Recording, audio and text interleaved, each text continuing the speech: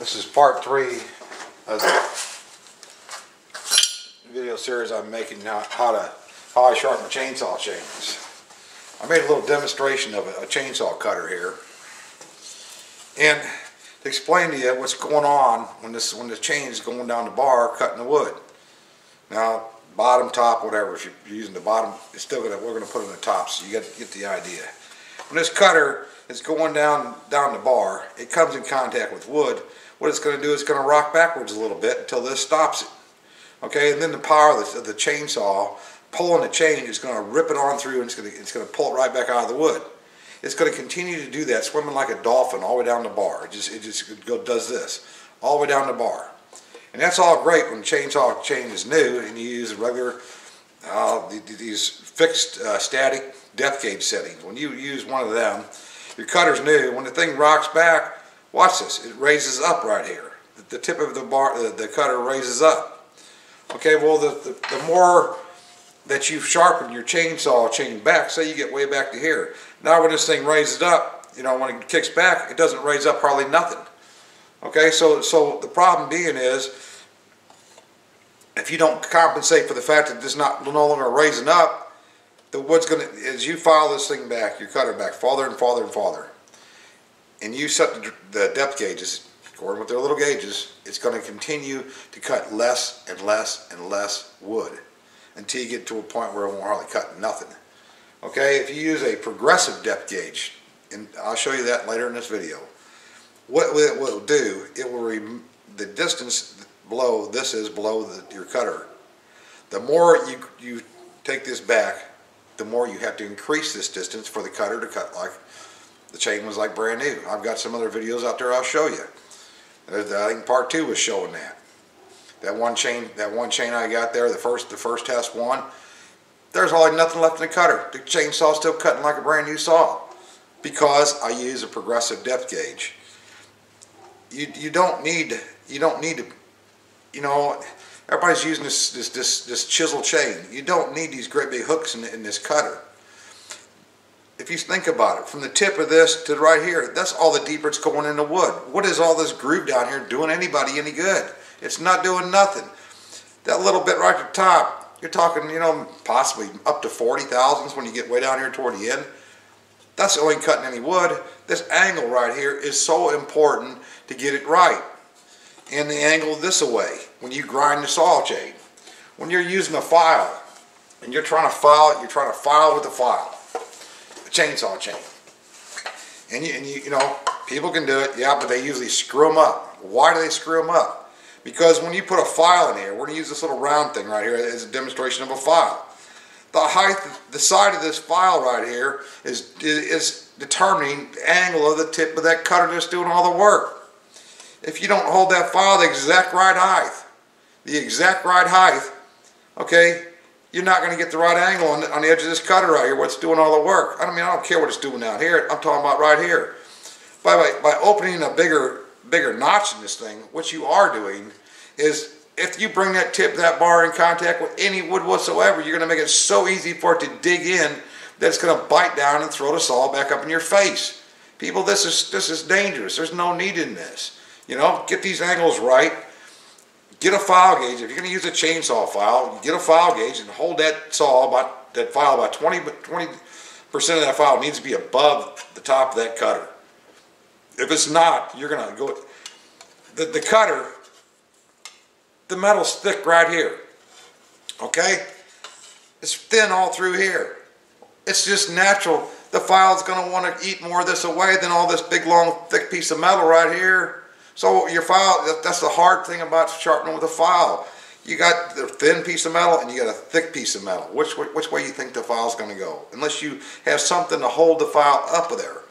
The deal with the grinder though, when the grinder comes down, why I like grinders so much, when it comes down to grind down inside there, that angle is set.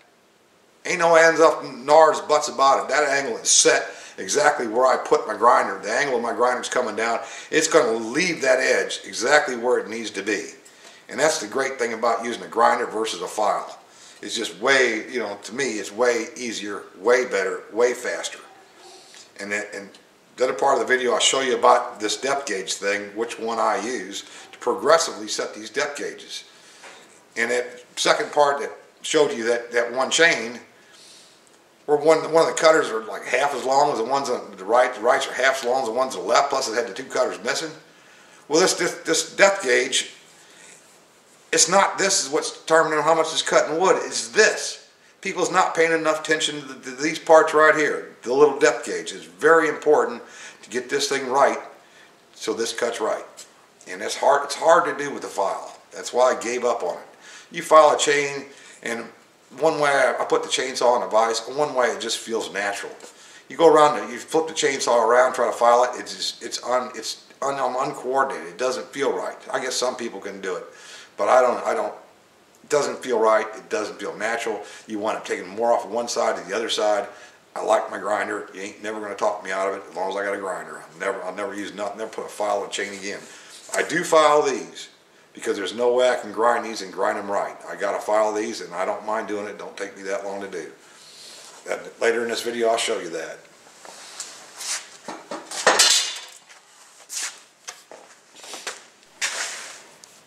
As for doing the drags in my saw, Husqvarna makes this tool and it's uh, made to, it's a, for progressively filing the depth gauges. There's the tool. It's a depth gauge sold by Husqvarna. Here's the number on the back of the thing. Tells you what part number it is. Here's the part, actual part number on it, I believe, on this side right here. The 50569 81-00. This is for a 325 pitch chain, as you can see in the top up here. And you can get them for 3H. They, I'm not sure if they make one for 3 H low profile or not, but this thing is the best tool that you can possibly get to do the depth gauges, drags, whatever you want to call them on a saw. It, it lowers the depth gauge it's not it's not a set amount. It's got a it's got a hard on here it says hard and up here and it says soft. You got two different you got two different sides you can use. I always use the one for soft. It's a little bit more aggressive, but I like the way the saw cuts better. This here will if you've got one cutter on, on one side which is almost nothing and you got a full cutter on the other side, your saw will still cut straight if you use this depth gauge. This sets the cutters exactly right. It's so simple to use. You just lay it on the you can't have a saw let me tell you this first. You can't have a saw with all this extra safety stuff on here, which is not good. But you know, if you're if you know what you're doing with the saw, most times you you, you don't need the stuff. You just got to be careful where the tip of that bar is at. You want to know what the tip of that bar is at at all times. But anyhow, this just lays on here, and your and your depth gauge sticks through this. But every third time I grind my chain, I take the depth gauges off, and this this one doesn't even need to be done. It's all, you just lay it on there, you don't got to hold it anymore. Your saw chain's got a little wiggle to it. So you can't have your file exactly flat, you got to account for the tiny bit of wiggle. So when you put this on here, it lays on there, you lay this on top. Okay, this one here don't, I've already done this one here apparently. This just barely needs to be touched, if any at all. Yeah, it's, it's, it's already been done about every third time I grind it, I put throw this in here on there. this this is the best tool there is to do depth gauges. And it just it just works fantastic. You have to turn the saw. Around. I put the saw in the vise. It works a lot better. Holds it good. Just lays right on there. The depth gauge sticks through there. And, and take, I got a steel file here, and uh, the steel file works great for this. And it just you know you don't got to once you get this in place, you don't even got to hold the, the thing. Your file's holding it down, and it rubs from the tip of your from the tip of here down to the chain the cutter on a chainsaw, when it's cutting wood, it, uh, a lot of people don't realize this. This cutter, whenever this cutter's cutting wood, the top edge of the cutter will, will, will catch a piece of wood. Right there. It'll catch the piece of wood. It will kick backwards, lean backwards. It actually, the front pulls up from the bar. Okay? And when it does this, okay, if, if the cutter's new and if, and the cutting edge is way out in front of this back heel of this, of this link, this cutter will actually raise up. But the more you file this back, the less lift you get in this cutter. And because the less lift you get in the cutter, you have to have a lower depth gauge setting for a chain that's ground back farther than you do when a chain is new. Because you lose that because you lose that lift. So that if it starts out at 30 thousandths less the, the depth gauge is 30 thousandths lower on a new chain. By the time you get down to the end and have a chain that cuts the same way as a new chain, this chain will still cut, even though if there's a tip of cutter left on here at all. It will cut just as good as a new chain if the depth gauge is set properly. And to get the depth gauge set properly, you have to use a progressive gauge to set your depth gauges. This thing is exactly, it sets them right on, it sets them progressively, it doesn't have one fixed amount. It's the best tool on the market out there today. If you, as long as you don't have all this extra safety stuff on your chain that you can still use this. And that's why I buy these type of chains because this works so damn good. Anyway, that's how I do it.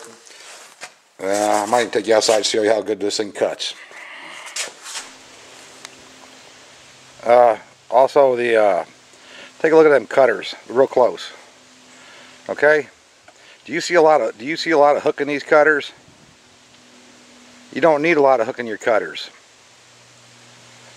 And I'll prove my point here and I'll come back and get my wood chisel. I'll show you what I'm talking about. You do not need a lot of hook in a cutter. You need some. But you don't need very much. And the more you put in there, the more dangerous that chain becomes because whenever it touches something, it's liable to dig in and where you get the kickback from. You get to tip that bar close to something, you got a lot of hook in them teeth, you're just asking for problems.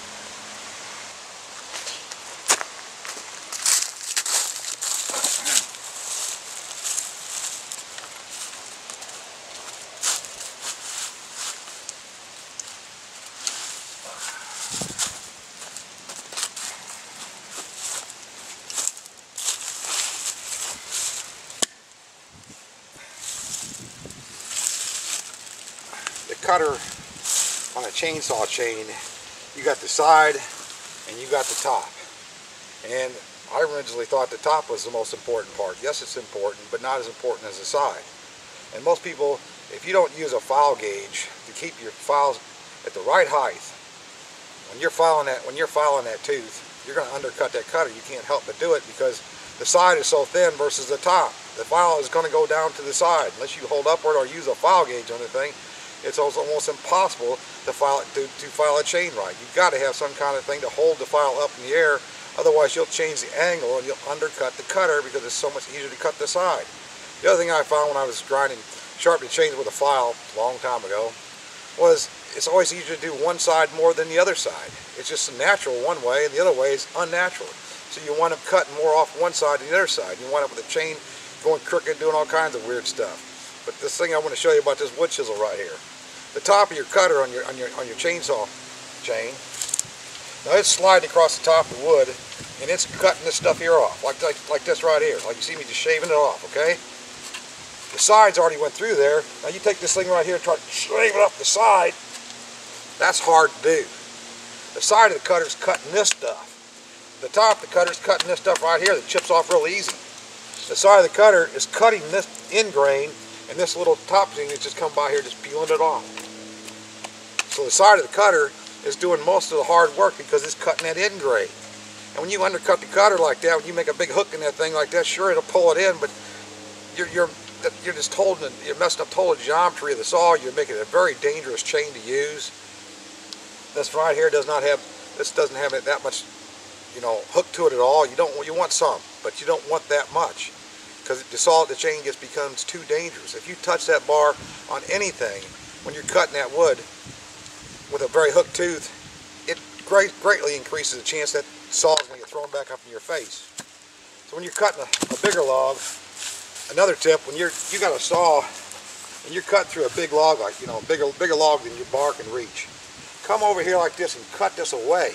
Cut this down here like this, then come back up and then slice down right here and remove this wood. Because if you come in this way right here with your bar, you're leaving all this wood right here a little bit, throw that thing right, it's got something to grab a hold of. You can throw that bar right up back in your face. Remove that wood on this way, and then bring your saw up and around and finish your cut. You'll want it with straighter cuts. It'll be a lot safer. It's no guarantee, but it's better than trying to go through it like this and then coming back and cutting it again. That's a dangerous way to cut a log. If your bar, if you got a saw, your bar is not as long as you, they won't extend all the way through your log. Anyway, back to firewood.